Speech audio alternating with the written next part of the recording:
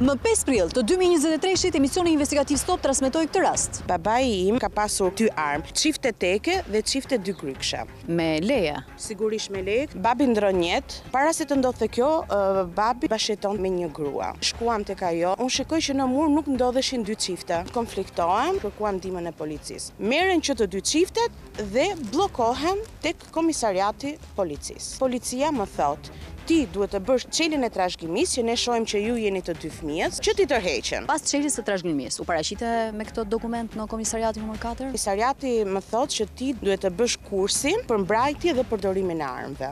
Kryeje kursin. Kam studiuar deri në orën katër të mëngjesit për të mësuar gjithë ligjet e gjërat dhe mora me forcën time, e marr dhe dëshminë. Komisariati pastaj më thotë. Ishte motër e trea, unë është gjësus jo adhë. Po pra, po nuk ka një letër e një proces verbal që është shkrirë ajo? Kush të e proces verbal të shkrirë e nësojë? Versioni numër dy nuk ka shkuar për hekur, Por ti mund të na bësh një kërkesë dhe na e dorëzo dhe ti do marrësh këtë përgjigjen që thjesht arma është në depo. I pa çuar ky në Elbasan. E ka shum gra. Dhe qytetarja i drejtohet Qendrës së Furnizimit Materialo-Teknik. Kjo armë ka dalur nga njëqindta dhe ka shkuar në repartin ushtarak Katër mijë e gjashtë në Elbasan. Më tre prill të dy mijë e njëzet e treshit, këtij komisariati iu depozitua një kërkesë. Komisariati numër katër i liron qytetares çiften ruse dy grykshe, por shotgani nuk gjendet. Unë tani kërkojmë të pajisemi me një vërtetim se çfarë është, po ndodh me çiftet, nëse është në përdorim të dikujt, pa leje, ndërkohë që janë në emrin tim, apo është shkrirë dhe me një proces verbal që kjo është shkrirë dhe unë jam e qetë. Bashkë me të dhënat e armës, emisioni investigativ Stop i dërgon një kërkesë zyrtare Ministrisë së Mbrojtjes. Shpresojmë që kjo e fundit të na iluminojë se çfarë ka ndodhur lidhur me Kar.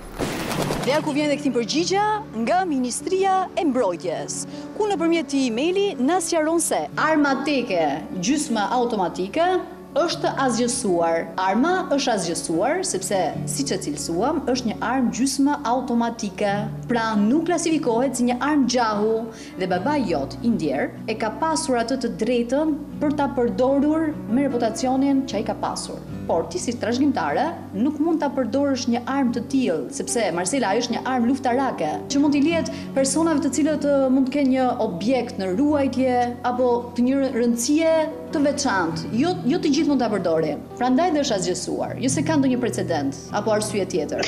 Atëherë unë ju falenderoj shumë Odeta për gjithë punën tuaj të palodhur që keni kryer bashkë me stafin tuaj dhe unë respektoj rregullat e shtetit, më në fund ju ma zgjidhët këtë këtë problem, nga ky moment jam e qetë që çfarëdo gjë që të ndodhi unë nuk jam më përgjegjëse për këtë armë.